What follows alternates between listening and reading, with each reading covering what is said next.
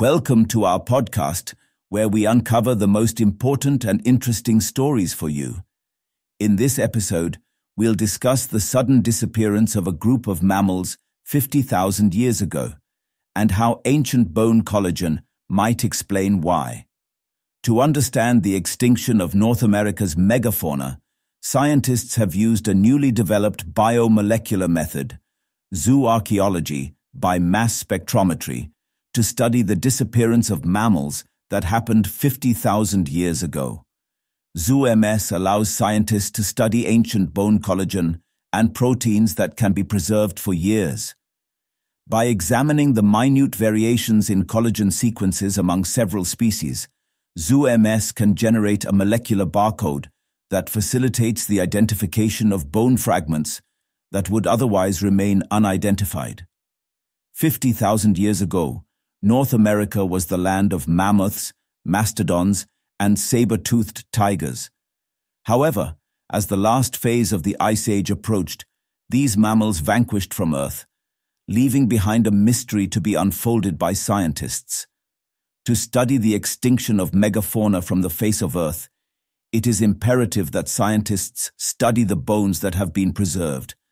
Unfortunately, it is not as simple as it sounds there is an array of obstacles in the way, one of them being inadequate preservation techniques followed by sites, with the bones being worn down into smaller, unrecognizable fragments.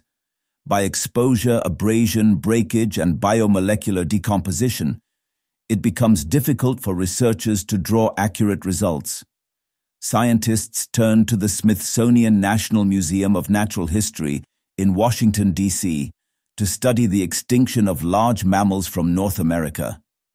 However, a considerable amount of remains preserved by the museum were unrecognizable, proving to be insufficient for researchers to study the extinction in detail. This is when the revolutionary technique, ZooMS, came into play. The researchers used this approach to analyze five archaeological sites in Colorado that date to the late Pleistocene or earliest Holocene period or earlier. The results obtained via this method were quite promising. 80% of the bone samples had sufficient collagen for ZooMS identifications, and 73% were identifiable to a genus level.